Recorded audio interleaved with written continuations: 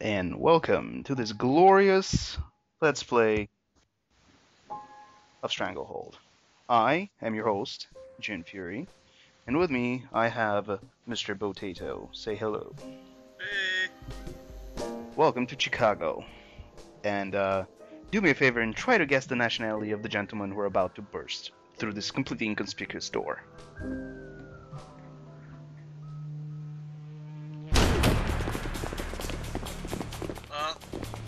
Look at that guy. Look at him. Also, in case you didn't know, we're in Hong Kong. sweet earring, dude. Hmm.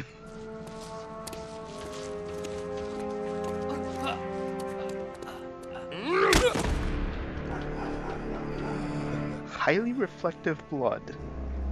Ultra reflective. Yeah. Also, fuck handles. Just kick the door down. Get the other one. Also, do me a favor. Try to tell me which one of these two women is younger, by by looks, when you see them. And uh, dun dun dun dun dun dun dun dun dun dun dun. Spiral barrel. Of course. So yeah, John Woo presents Stranglehold. Welcome to the glorious title screen. And yeah, this whole game is essentially a giant Hong Kong styled movie in gameplay form. Gameplay wise, it's alright, but it's extremely repetitive. But what really makes it is the extremely hilarious uh, voice acting and uh, the actual like it, it it it essentially is a is a movie. You, you'll see what I mean. Just listen to this. Just listen. As soon as it bloody loads.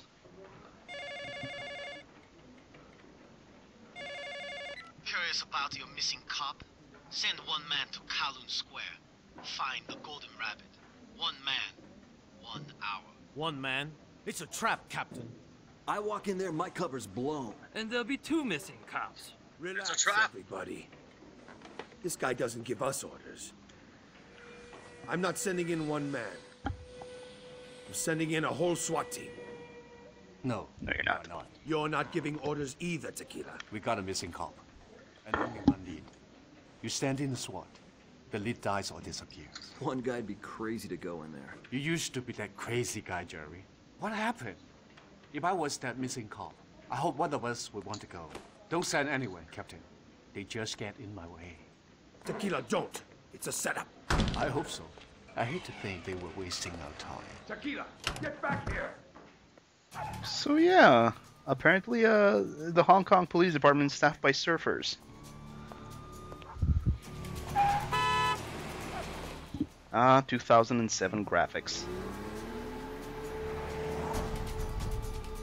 Compare this to like uh, the new Sleeping Dogs and looks hilarious. And of course we see Tequila's signature weapons, the two silver guns. Welcome Yeah, to the game. Laying out in an alleyway. Of course. Where where else would you find guns? I mean, really. So yeah, the really good thing about this game that I haven't seen in anything else, aside from oh look it's Max Payne, is the fact that if you run over something, you don't just stop. You slide over it. So you don't get stuck on a chair anymore trying to run away from the guy with the rocket launcher. Ah, sweet. So it's like they lubed up your entire character. Kinda. He does an acrobatic move around. And also, if you see something shiny, shoot it. Stuff will explode, drop, and annihilate pretty much anything that looks at you funny. But yeah, bullet time is essentially the gimmick uh, that's used a lot throughout the game. Anytime you dive forward, or sideways or backwards, whatever, you activate tequila time, not bullet time, tequila time. And um, yeah, time slows down and tells me to find the med pack, and I completely missed the one I just ran by. So, uh, yeah, we're going on without healing. And I am very confused. Where's the med pack? What are they talking about? I, I derped a bit. And uh, your Guns seem to be uh, like you don't need to reload. They don't have clips or anything. No, no. this is a good old game. And also, this is one of my favorite parts of the game. There are, whenever you see railings or anything longish that's highlighted, you can write it either up or down. And of course, uh, to get better, uh, to fill up your bar on the bottom left, the circular, the green circle, you have to do stylish kills, which means jump around and shoot people in the face, and uh, that allows you to use tequila powers. Right now we only have one, the red cross, which lets you heal. And of course we can take cover if we really want to for some weird reason, but considering how much punishment tequila can take, there, there really isn't much point. Oh, So yeah, lots of shiny things, shoot shiny things, shiny things fall on bad guy, blood spurts in about 10 million gallons. For some reason, these guys are highly suicidal. They, they love standing right next to the propane tanks, always. Also, Tequila has Spider-Man boots, because railings are not that easy to run up. huh. Yeah. So yeah, anytime you have enough tequila meter, you can use your first ability to get a bit of health back. And of course, more guns in the middle of the bloody alleyway. And of course, this tells you this now, even though you could have used it the entire way up until now. Like I did, because I suck at playing, and I need to heal. Paper cranes, that purple flying thing, they give you one bar of the tequila meter. So each one, Asian. yeah, the only the only problem is that there's no jump button. You can't jump. You can only lunge in any direction. So if if one of these is up on some ledge, you have to uh, find a way to either get it down or get yourself up there, even if it's just on a box. Huh. Yeah, it's uh, one little oversight. And also, one uh, problem you'll see a little later is when you run up and down the railings, you can't get off until you get to one of the ends. So, if you jump on something long and, so, and they start shooting you from all directions, you're gonna have to run all the way up to the top under fire to get off the damn thing. I like how he lit that cigarette and immediately extinguished it, Of course. only using it for the cool factor. Well, smoking is cool, you do know this. Oh my god, it's the golden hair! I am so inconspicuous. Oh, Uh, It's the must be a Riddler! main character. It's the Riddler!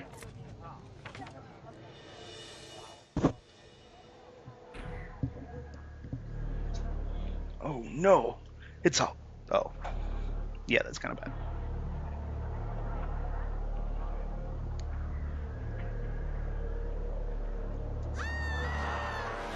Dun dun dun. I'll just leave that knife there. Of course. Hey, there's guns in the alleyways. I think knives are their last worry. Also, style. And I really don't want to know how he cleaned that jacket afterwards. Watermelon kick. Yeah, here we get a the first enemy with a different weapon than pistols, the shotgun. This weapon on its own is eh, okay. Once you get your third tequila bomb ability, it becomes the best gun in the whole game. Whenever you have it. And you'll see why in a few episodes. But for now, even though I picked it up, I'm still jumping around with pistols. And I'm still jumping around for no reason. Uh, uh, oh yeah, also, guy explodes into 10 million gallons of blood. Basically, uh, Tequila can punch people with whatever weapon he gets close with. And uh, apparently he has super strength, because uh, you'll see people fly about 10, 20 feet, smash into things, break walls, or anything they land in.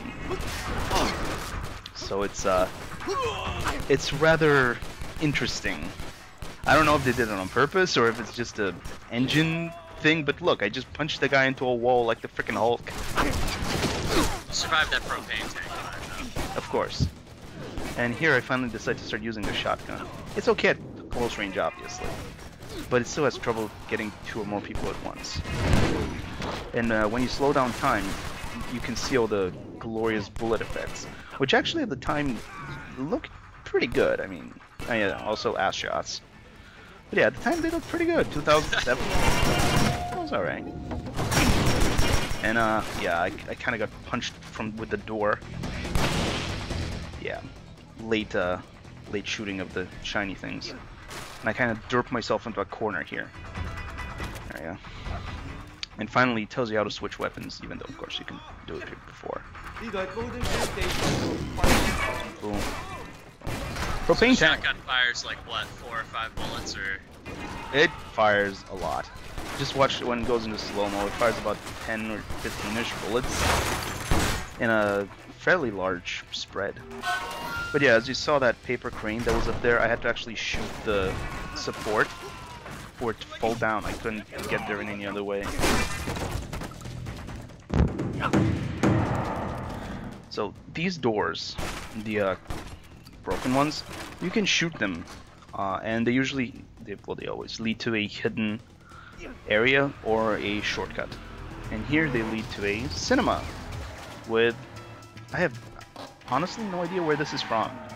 I don't know if it's a game or if it's supposed to be an animation from some of the movies. I can't recognize it, and I probably should, but I have no idea where it's from. Yeah, the only thing down here is a paper crane, though. So get that and just move right along. I just to shoot some stuff.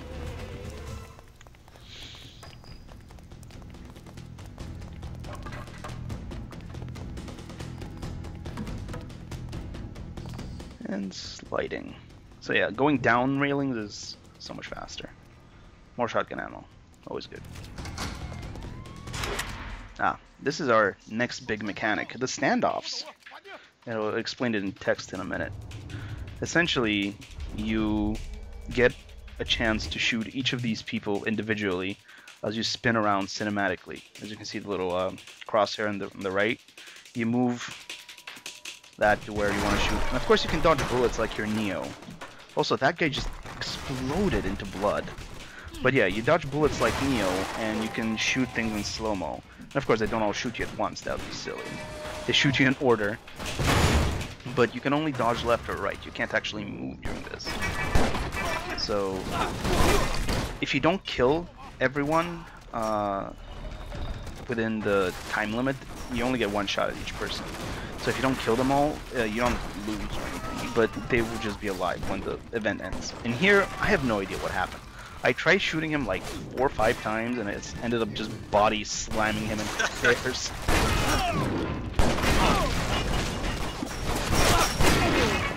But yeah, a very uh, visceral game. Also, anytime you see the uh, little white and uh, I mean, uh, yellow and black uh, stripe planks on anything, that means you can destroy those. And usually in many levels, that's the only thing to that you have to do to continue. You have to either knock down uh, beams or break random walls, or it, it'll all be something. But you usually have to break them to continue. Anything that's shiny usually means you can kill people easily. Anything that's uh, boarded up like that is essential to moving on. And of course, uh, you know, Hong Kong police, uh, fuck property damage. There's, you know, cinematic. All your kills have to be beautiful. Screw the screw the paperwork. and since there's no simple jump button, I had to vault over that thing.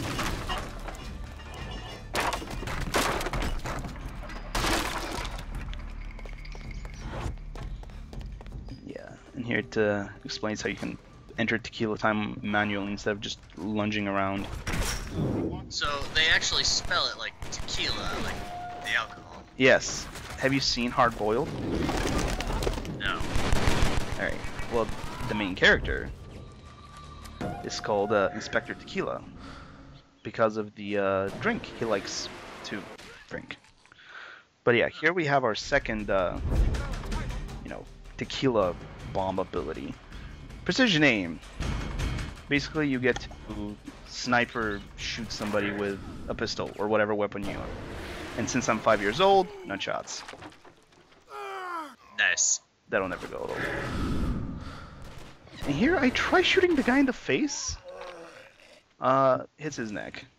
And of course, sign goes up, goes back, bonk, just knocks him off. This guy, however, I try shooting him in the head.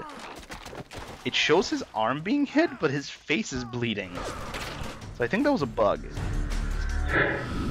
Because I shoot him a second time in the same place, and it just explodes into a gust. Hit him in the blood from the arm, hit him in the face. This was 2007. I don't think the technology was that sophisticated.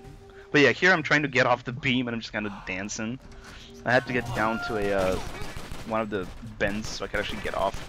And that's the big downside because later on, this is the way you're gonna get a lot of your stylish kills to fill up your uh, tequila meter.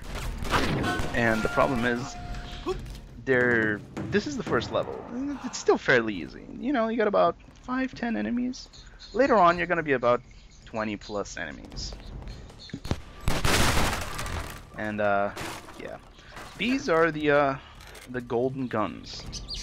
They're a special unlock, if you will. They're hidden in some levels, and they essentially kill anything they shoot it with at with uh, one bullet. However, you get, only get 16 bullets with them. And if you go into a standoff with them, it automatically switches you back to your normal pistols, even if you don't actually have those weapons anymore. I owe an ask an I-9. But be quick. There won't be any left after tomorrow.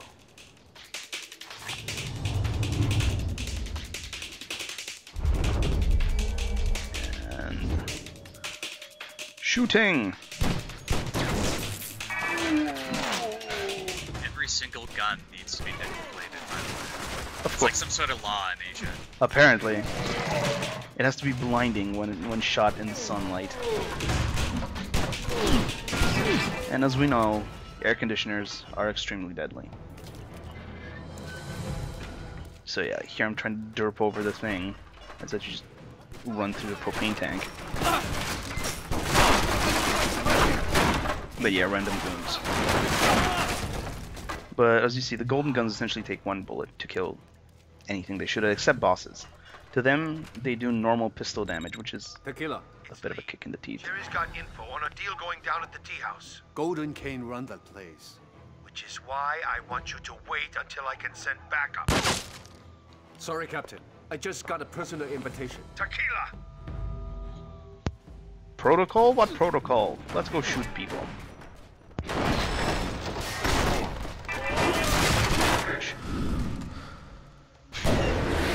Oh, nutshots. Watching the reaction never gets old. Yeah. I have no idea what I hit over there. I didn't even see the propane tank, and stuff exploded extremely strongly. And yeah, here I ran out of uh, golden gun ammo. And uh, at one point, not in this level, but if you actually run out of ammo for everything, you get to punch people. But considering Tequila can punch people into walls with the strength of the Hulk, that's not, see? That's really not much of a problem. Wow. Yeah. Yeah, apparently I punched him so hard he shattered the column. And... Yeah, if you just shoot them in the chest, they just kind of spin around as if they're hit by a freaking grenade. But for 2007, the destruction is fairly good. A lot of things break, even if they are predetermined. I mean, it's it's not Battlefield Bad Company, but stuff breaks and it, it looks really nice. It's very cinematic. I mean, none of it really does anything for you except the shiny stuff that kills people, but it certainly looks nice. I'm just surprised you're not getting stuck on all these items flying around. Well, I, that's why you get to slide around, because otherwise that would be impossible with this much shit breaking and exploding.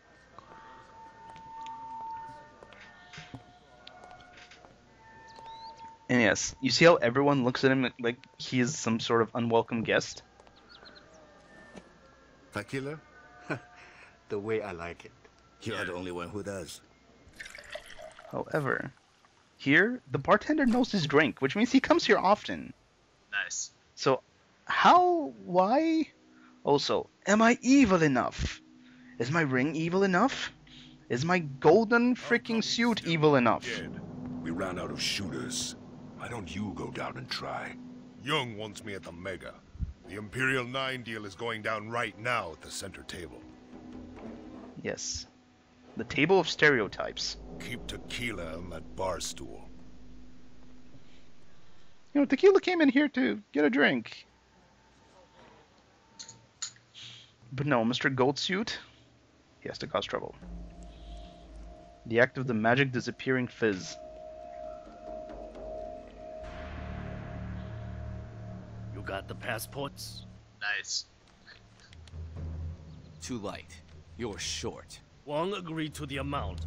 Now, do you have the passports or not? I don't give a damn what Wong agreed to. This is an I-9 deal.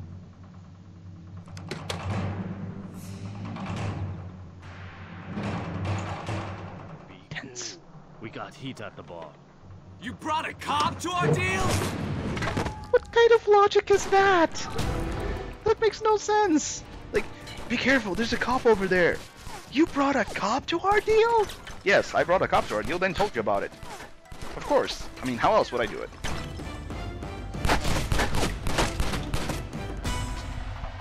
These guys are like the worst dealers ever. Yeah, it's like the walking stereotypes. Also, punching is highly effective. As previously established.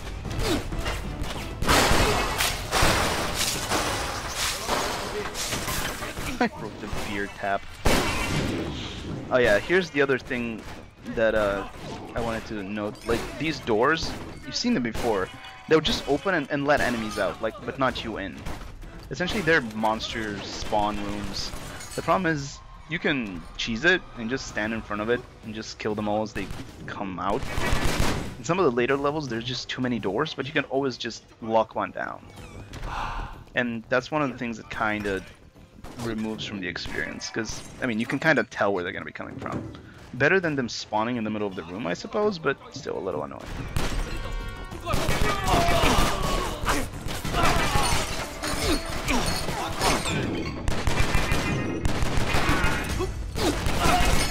So yeah, I just sit in the entrance of the doorway and just shoot as many as I can. It's good to know they had like 40 or 50 guys back there with guns. Oh yeah.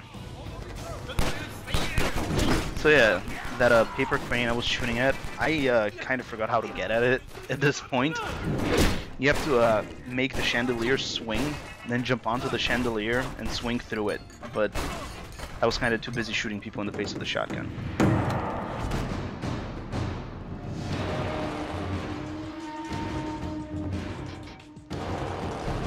One of us is getting So, yeah. here alive, Cop. Welcome to the first boss. Golden suit guy with a rocket launcher. I have no idea where that rocket went. But yeah, I, I eat so many rockets face on. I have no idea how I live. I even go and punch him in the face. Twice. Must be the leather jacket. Of course, it's like plus 10 to cool. But yeah, this boss is really easy. He has barely any health compared to later bosses. He's a terrible shot, and his rockets barely do anything. So yeah, I just hide here and pump his face full of bullets. Uh, generally known to be lethal.